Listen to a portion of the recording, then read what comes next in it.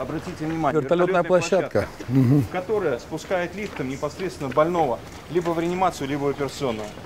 Я могу сказать, что даже на этаже вертолетной площадки есть уже противошоковая палатка. И это далеко не все для городской отрасли здравоохранения новации, которые готов предложить травмохирургический центр. Новый комплекс – это четыре здания, в двух из них уже ведутся отделочные работы.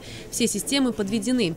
Хирургическое отделение в Сочи есть, рассказывает главный врач четвертой больницы. Оно работает на базе второй городской, но уже давно перестало соответствовать современным требованиям. Сейчас мы располагаемся на 17 тысяч квадратных метров. Здесь 300 коек, а площадь у нас 44 тысячи и 5 десятых квадратных метров. Ну да. Это новые Санпина. И делали это по максимальным Санпинам. 14 операционных, оснащенных по последнему слову техники. Впервые в Сочи появится свой ангиограф. Устройство позволяет определить место и степень патологии сосудов, а значит выявить риск развития инфарктов и инсультов. Во всем крае такие процедуры проводили только в Краснодаре, Армавире и Новороссийске. Теперь и Сочи получит статус кардиологического и сосудистого центра. Всего же городские учреждения курорта за последние годы получили около 100 единиц современного диагностического и лечебного оборудования на сумму 203 миллиона рублей рублей. Здравоохранение до 2008 года назвать нормальным в городе Сочи было невозможно. Необходимо было предусмотреть все для того, чтобы оказывать качественные медицинские услуги.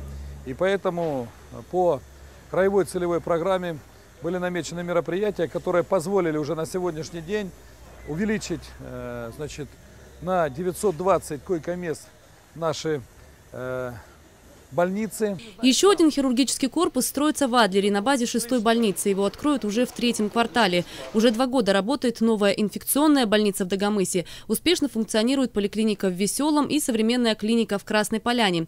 Все новые объекты здравоохранения строятся в рамках краевой целевой программы по инициативе губернатора Кубани Александра Ткачева практически те застаревшие проблемы, которые накапливались десятилетиями, мы разрешали вот в этот э, и разрешаем вот в этот э, четырех-пятилетний период.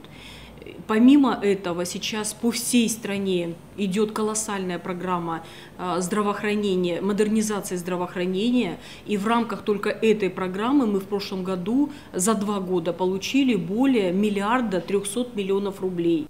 Благодаря Олимпийской программе в Сочи удалось отремонтировать и переоснастить 22 уже существующих лечебных учреждения города.